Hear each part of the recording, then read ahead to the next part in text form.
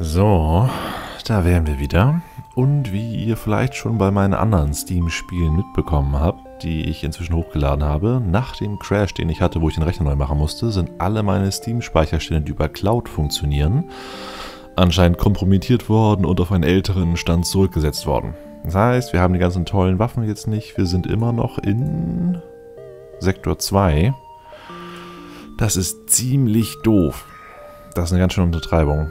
Aber als kleinen Ausgleich äh, habe ich ja noch diese Aktion, dass gerade die 1500er Marke geknackt wurde und äh, wir dafür die Folgen alle doppelt so lang machen. Aber ja, sehr ärgerlich das Ganze. Na gut, lässt sich nicht ändern. Wir sind also gerade im zweiten Sektor angekommen, haben noch keine Rebellen auf der Hacke, also springen wir dahin. Und gleich in die falsche Zone. Ja, der Mantis hier sucht die Herausforderungen. Und das wird für uns sehr schmerzhaft werden. Unsere Hülle ist nämlich schon auf fast 50% runter. Und wir haben nicht diese schöne Ionenbombe, um seine Schilde gleich auszuschalten. Aber gut, wir haben alle ihren Posten, wir haben Sauerstoff. Dann schießen wir doch mal auf... Auf was schießen wir? Waffensystem. Weil eh nur einen Schildpunkte dürften wir einigermaßen gut durchkommen. Und wenn wir jetzt zwei Salben verbrauchen, um die Schilde runterzuprügeln, dauert das alles viel zu lang und wir kriegen viel zu viel Schaden. Solar Flare Eminent. Ja, können wir nichts dran ändern. Ein Feuer, zwei Feuer. Du, geh mal dahin. Du hilf da mal aus, weil wir jetzt ja eh keine Schadenspunkte mehr reinbekommen. Wir schießen jetzt weiter auf... Hm, jetzt können wir die Schilder ausschießen, äh, ausschalten. Damit von den nächsten Schüssen mehr durchkommt und so der ganze Kampf ein wenig schneller vorbei ist. So, du kannst in die Krankenstation, du kannst zurück auf deinen Posten. Machen wir mal ganz kurz die Krankenstation an. Und wieder aus. Und du gehst wieder dahin. So, Schuss auf die Schilde und ist auch gleich kaputt. Dann war es ja doch nicht so schlimm, wie ich dachte. Oh, oh, Schuss auf die Waffensysteme natürlich. Gerade noch den Solar Flare reinbekommen. Na gut, du reparierst da, du reparierst da. Und sobald die Feuer aus sind, springen wir. Wir kriegen zwar gerade beide Schaden, aber es muss halt sein. So, und dieses komische Anzeigen lassen, wo man hinspringen kann, ist auch aus. Ah. Also wer auch immer Trojaner und Viren programmiert, der sollte sich echt mal an den Kopf fassen. Das ist einfach nur scheiße, die ganze Aktion. Aber gut. Ähm, ich will mich nicht aufregen. Nein, alles ist gut. Und wir sehen die Mantis, bevor sie uns sehen. Das heißt, wir könnten uns zurückziehen. Die haben anscheinend einen Burst Laser und eine Beamwaffe. Beamwaffe kommt fast nie die Schilde durch. Und der Burst Laser knackt unser Schild hoffentlich nicht, also greifen wir das Schiff mal an. Wir hätten gern einen Burst Laser trotzdem auf die Waffen.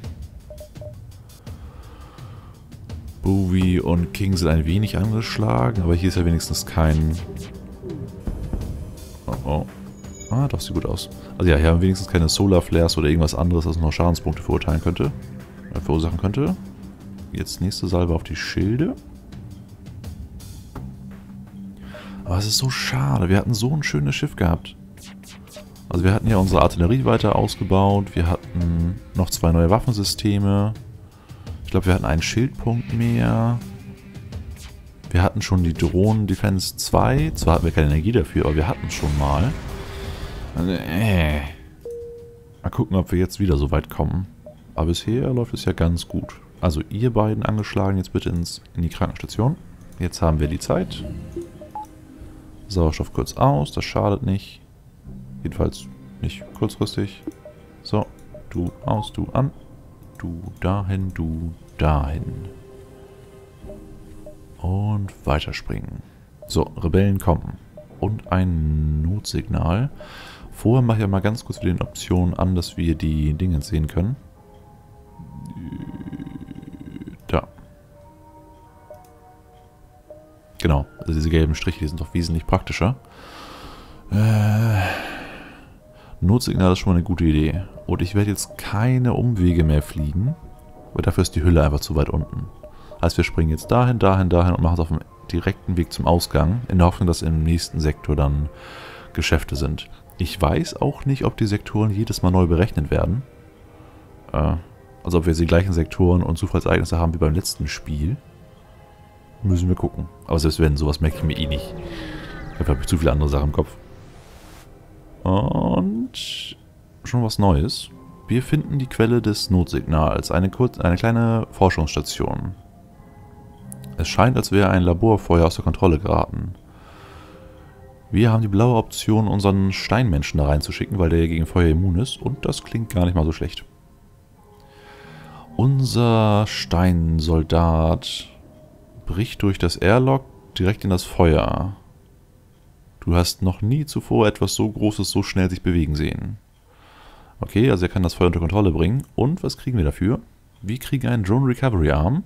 Der macht, glaube ich, dass wir mehr Scrap bekommen. Und 30 Scrap. Gucken wir mal kurz. Drone Recovery Arm. Ah ne, nicht zerstörte Drohnen werden zurück in den Hangar gebracht, wenn... Ha? Also nicht zerstörte Drohnen werden zurück in den Hangar gebracht, wenn man springt. Das heißt... Oh, wir haben unsere Defense 2 noch. Sehr schön. Also wenn wir jetzt aber die Defense 2 Drohne rausschmeißen würden, dass sie uns verteidigt und sie überlebt den Kampf und wir wegspringen, kriegen wir den Drohnenpunkt hier wieder zurückerstattet. Was ganz praktisch ist. Aber ich denke mal, bis wir das Ding benutzen können, äh, werden wir so viele Drohnen haben, dass das auch äh, irrelevant wäre. Also eventuell könnten wir das Ding wieder verkaufen. Müssen wir mal gucken, wie sich das weiterentwickelt. So, keine angeschlagen. Weiterspringen. Noch ein Distress-Signal. Ja. Oh, gleich zwei blaue Optionen. Gucken wir, was hier los ist. Eine menschliche Mining-Kolonie. Eine Krankheit hat sich dort ausgebreitet. Wir könnten unseren Steinsoldaten wieder hinschicken, um die Unruhen zu unterdrücken, weil äh, die ihm wahrscheinlich so gut Schaden zufügen können. Oder unseren Engi hinschicken, um die Infektion in den Griff zu bekommen. Ha. Also Engi waren diese roboterähnlichen Wesen, die aus der Distanz auch Sachen reparieren konnten. Ich hoffe einfach mal, dass der dann immun ist gegen die Krankheit. Aber ja, wir könnten entweder prügeln oder wir könnten nachdenken. Ich nehme mal nachdenken. Ja, ohne die Angst, eine Krankheit sich einfangen zu können, weil er halt ein Roboter ist, äh, beruhigt er die Menschen und organisiert sie. Beruhigt durch seine, durch sein souveränes Auftreten schafft er das soweit. Und wir bekommen zwei Treibstoff, zwei Raketen und zehn Scrap. Irgendwie ganz schön mau. Aber na gut. Wir haben nichts verloren, wir haben was dazu bekommen. Springen wir weiter. Und ein Geschäft, sehr schön. Hinder. Wir würden gerne gucken, was du hast. Systemrepair brauchen wir nicht, Defense 1 brauchen wir auch nicht.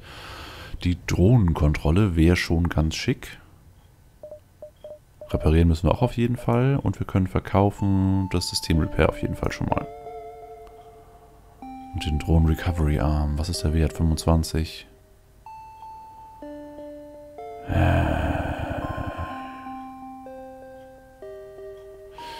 Ich glaube, wir behalten ihn erstmal. Das heißt, wir reparieren zuallererst. Treibstoff haben wir noch genug. Die Drohnenkontrolle könnten wir kaufen. Aber ich weiß, wir brauchen noch jede Menge Scrap, um unser Schiff weiter auszubauen. Also für die Waffensysteme und für die Schilde brauchen wir richtig viele Punkte.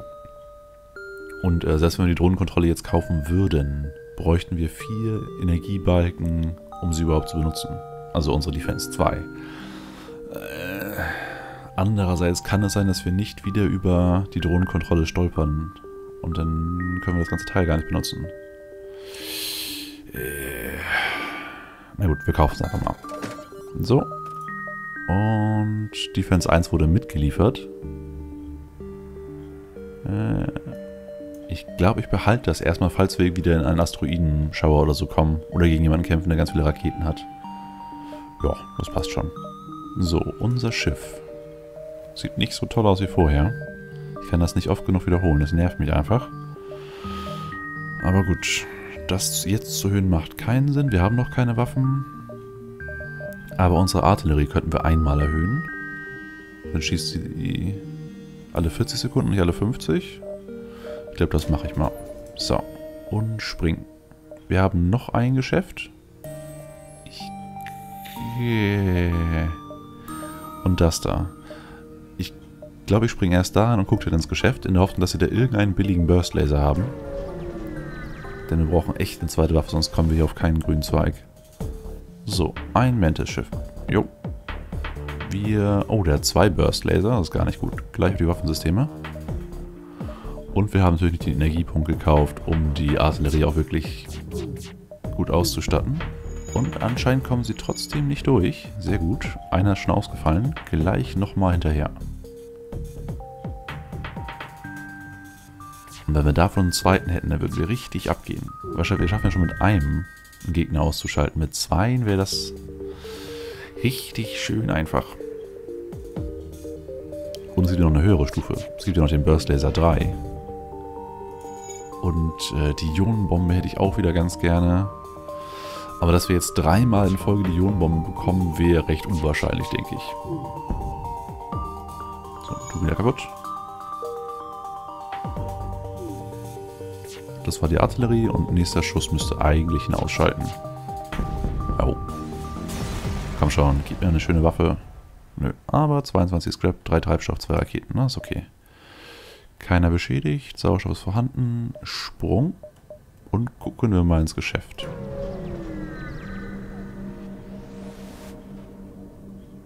So, wir haben System Repair, wir haben lauter Sachen, die wir nicht wirklich brauchen.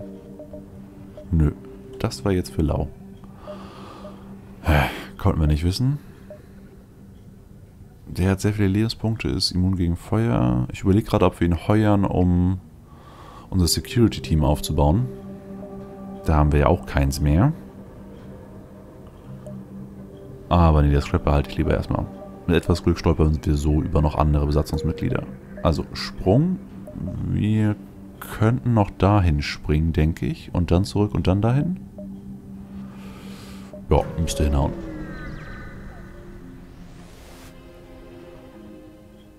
Äh, wir wurden gebordet. Nein. Ein junger Mantis in einer äh, beschädigten Uniform hat sich bei uns drauf teleportiert und äh, bittet um Asyl. Das ist doch genau das, was ich gesucht habe. Nur ist ein Engi nicht unbedingt gerade das beste Mitglied für ein Security-Team. Und ich habe jetzt keine Lust, ihn irgendwo anders reinzustecken, weil jeder von denen hat schon einen Job. Obwohl Banks könnten wir ersetzen. Damit Banks denn unser Security-Team wird. Äh, ja, okay. Wir verbünden uns also mit dem, der um Asyl bittet und kämpfen gegen das Engi-Schiff. Das eine Drohne hat. Aber wir schießen keine Raketen, das passt schon. da hat er noch eine Beamwaffe und eine Ionenwaffe. Ja, der müsste gar nicht durch unsere Schilde durchkommen. Sehr gut. Und wir haben hier... Ach, das war Mantis und kein Engi. Noch viel besser. Sehr schön. Also das ist schon mal unser Security-Team-Mitglied. Unseren Banks können wir dann später immer noch ersetzen wenn wir irgendeinen anderen bekommen. Und dann hätten wir zwei Mantis im Security-Team. Dann könnte uns gar nichts mehr. Also gar nichts mehr borden. Abschießen können sie uns immer noch.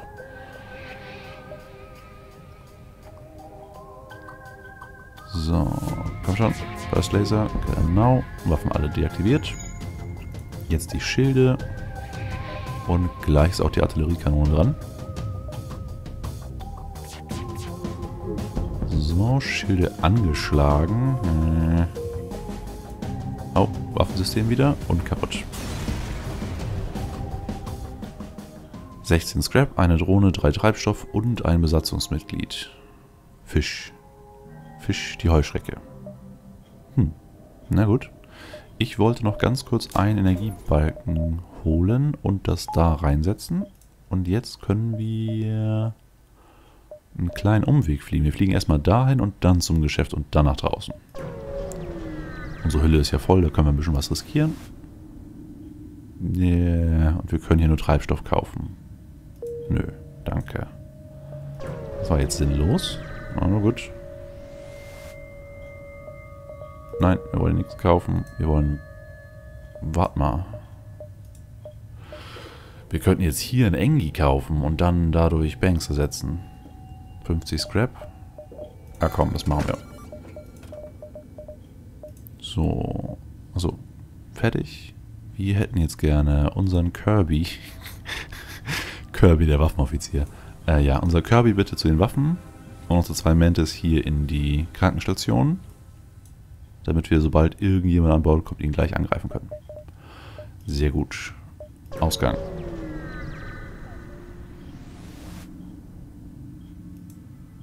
So, wir finden noch ein wenig Schrott im All.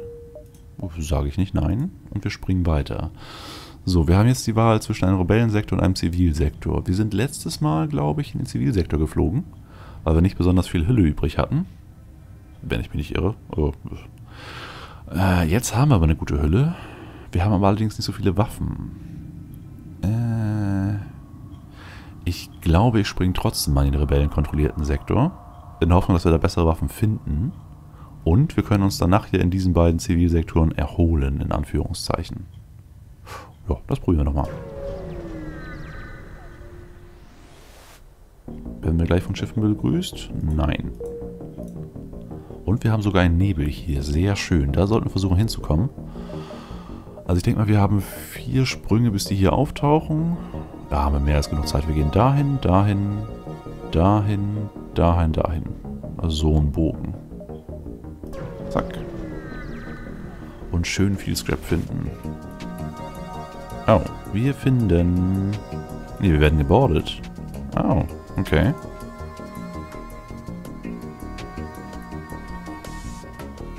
Ha. Und noch jemand, der um Asyl bittet. Ah, jetzt haben wir gerade ein Besatzungsmitglied gekauft. Aber es ist ein Rebellensoldat. Also ein Mensch. Hm.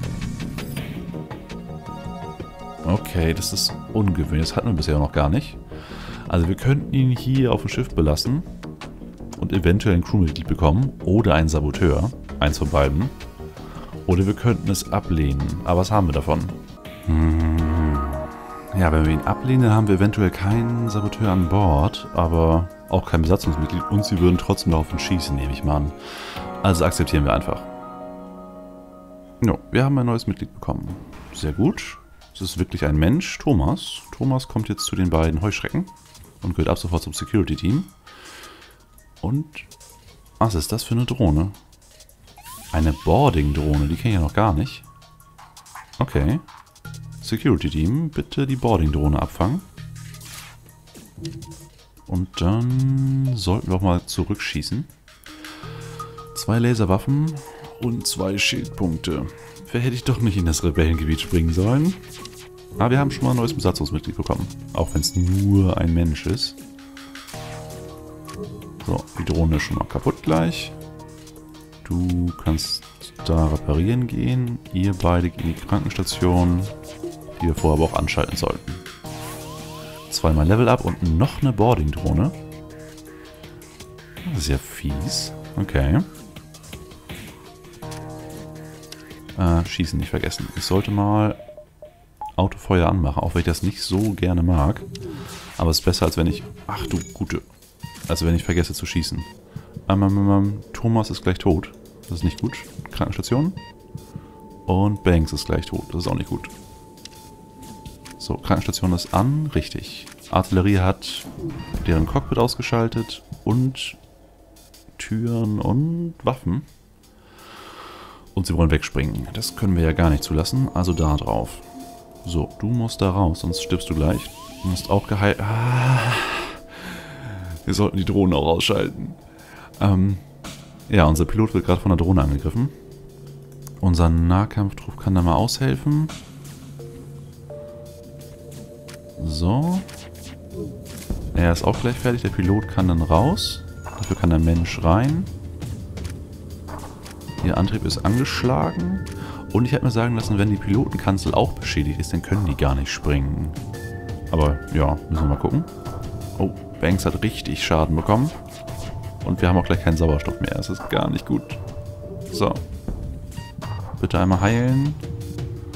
Und Thomas stirbt eventuell gleich. Geh mal da raus, du da rein. Was für ein Heckmeck. So, aber dafür ist er gleich kaputt. Wenn wir durch die Schilde durchkommen. Und das nächste Boarding-Ding wurde abgeschossen. Ähm, ähm. Also ja, wir sollten eigentlich die Schilder ausschalten. Aber dann springt er eventuell weg. Weil ich weiß nicht, ob es mit dem Piloten wirklich so ist, wie es ist. Oder wie es sein soll. Und sie wollen aufgeben.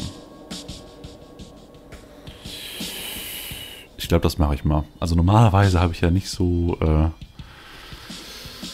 äh, die Skrupel, sie aber danach noch wieder anzugreifen.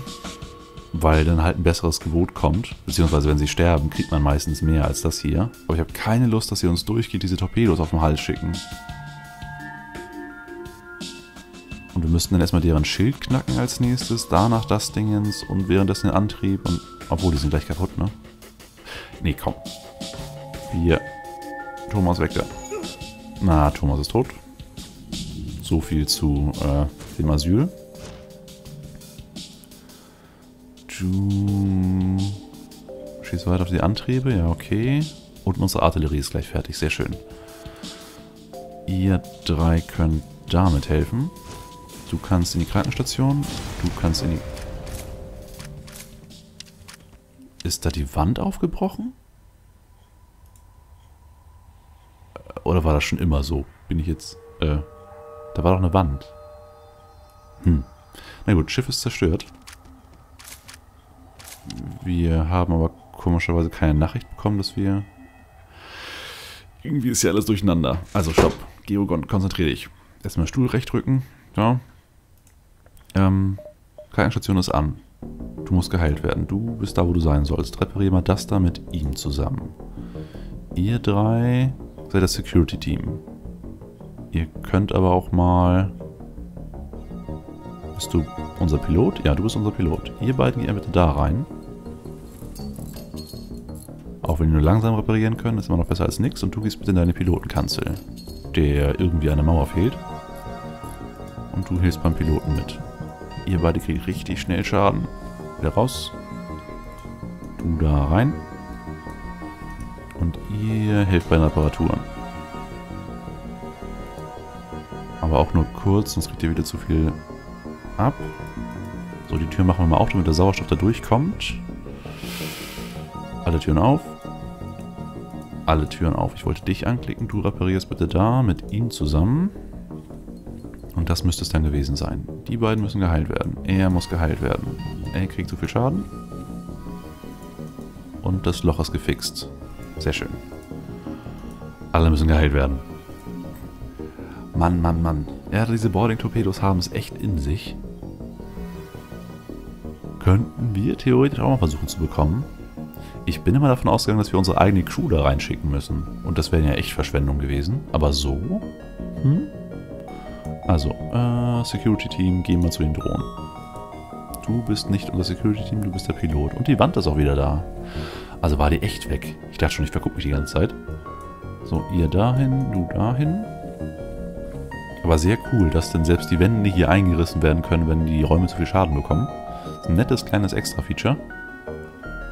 So, Kirby. Kirby, du warst unser Waffen-Experte. Auch wenn dein Name nicht so sehr dazu passt. King war unser Schild. Und Atreyu war unser Ingenieur.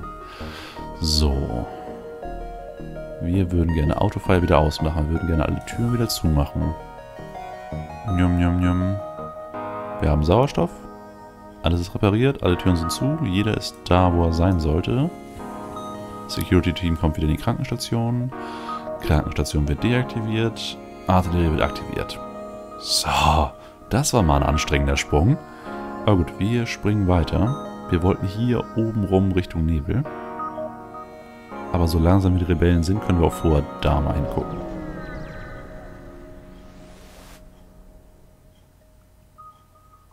Ein kleiner Planet mit verstreuten Siedlungen. Eine kleine Rebellenflotte ist im Orbit mit vielen Schiffen, die hin und her fliegen. Also zur Oberfläche und zurück. Es muss einer der kürzlich befreiten, in Anführungszeichen, Planeten sein. Aber die Flotte scheint uns nicht anzugreifen. Okay, springen wir weiter. Ein Geschäft. Wir haben nur 76 Scrap. Also fliegen wir erstmal hier... Wir fliegen jetzt doch ein wenig zickzack. Ich wollte eigentlich diesen Bogen machen, aber das Geschäft lockt mich doch schon. Also gehen wir jetzt dahin, dann dahin, dann zum Geschäft und machen uns dann auf den Weg zu dem Nebel. Könnte ein bisschen knapp werden, aber dann haben wir wenigstens ein bisschen was an Scrap zum Einkaufen. Also, äh, theoretisch könnten wir auch da ganz hin und dann einen Bogen machen. Hm. Ich glaube, das machen wir. Auch wenn wir dann eventuell nicht mehr die ganzen Nebel erforschen können. Aber dafür haben wir wenigstens genug Scrap, um einzukaufen. Es wäre richtig nervig, wenn wir jetzt irgendwie zu knapp springen und dann da sind und sehen einen Burst Laser Stufe 3 und dann haben wir keinen Scrap, um das zu holen. Das will ich nicht. Also, dahin. 2, 1, Risiko und so. Ein automatisches Schiff. Okay. Mit, wow, mit einem Beamlaser, einer Ionenwaffe und einem Bombenwerfer. Die kommen durch die Schilde durch. Die da machen Schilde kaputt. Die kommen nicht durch die Schilde durch. Hä. Also wenn er einen guten, äh, gute Skripte hätte, dann würde er damit auf unsere Schilde schießen und würde uns dann zerhackstückeln. Also mit dem und mit dem auf die Schilde. Aber gucken wir mal. Wir hätten erstmal gerne den Burst Laser auf Erstmal auf deren Schilde. Ja, das Ding nervt mich da echt. Aber komm, wir müssen trotzdem erstmal die Schilde knacken, sonst kommt jedes Mal nur ein Schuss durch und der richtet fast gar nichts an. Also, dich an. Wir könnten unser Defense 1 mal anschmeißen.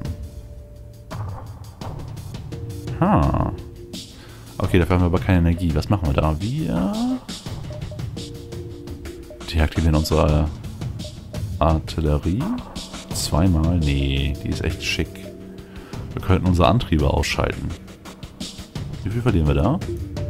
Sehr viel ausweichen. Okay, Antriebe und Sauerstoff. Jedenfalls ein Antrieb, ein Sauerstoff. Und Defense 1 mal an. Und gucken wir, ob wir damit wirklich diese komische Bombe da abschießen können. Und wir schießen weiter auf das Schilddingens. So, Ionenkanone schießt, trifft uns und deaktiviert unsere Schilde leicht. Irgendwas hat gerade geschossen. Ich glaube, es war das Teil. Ja, und konnte sich bei uns rein teleportieren, wurde also nicht abgeschossen. Gut zu wissen. Das Ding ist also nützlos gegen Teleportationssachen. Fände ich auch recht komisch, wenn, wenn so eine Drohne was Teleportierendes abschießen könnte. Aber man weiß ja nie, wie die Spiele programmiert sind. So, das heißt, wir haben jetzt Punkte über. Die kommen wieder in den Antrieb und in den Sauerstoff, sobald das repariert ist. Das können die beiden mal machen. Oh, und der Beamlaser kommt durch unsere Schilde durch. Übel. Aber wahrscheinlich nur abgeschwächt. Na gut, trotzdem sollten wir wieder schießen. Wieder auf deren Schilde. Kommt schon durch. Angeschlagen, sehr schön. Sauerstoff wird ein Problem. Energie in Sauerstoff. Kommt nicht durch, kommt nicht durch. Schild wieder mit einem Punkt angeschlagen. Und die Bombe geht daneben. Sehr schön. Ja, von wegen Artillerie ausschalten. Die Artillerie ist super. So, Schild ist ganz deaktiviert. Autsch. Dafür verpasst sein Laser uns aber auch ganz schön gut. So, komm schon, Waffensystem ausschalten bitte. Dankeschön. Und das ganze Schiff ausgeschaltet. Das Ganze für Treibstreifstoff, eine Rakete und 25 Scrap lässt sich drüber streiten. Aber gut, wir sollten auf jeden Fall darauf achten, dass äh, Sauerstoff da ist. Und ist alles repariert? Nein, die Drohnen sind nicht repariert. Nicht wirklich wichtig, aber wer weiß, was kommt. Und diese Defense 1 könnte ja praktisch sein. Also wie wir jetzt gerade gelernt haben, nicht bei den Teleportationssachen, aber bei den normalen Raketenwerfern. So, und die beiden Jungs, die eigentlich gar nicht fürs Reparieren geeignet sind, die kriegen irgendwie 50% Abzug oder so die kriegen jetzt die ganzen Level in Reparatur. Hm? Jetzt, ja, ein Punkt, drei Punkte. Hm. Na gut, ihr geht mal dahin zurück. So. Und ich denke, wir machen jetzt einen kleinen Cut. Und ich hoffe einfach mal, dass jetzt ordentlich gespeichert wird. Ich guck mal. Save and quit. Na gut, wir sehen uns gleich wieder.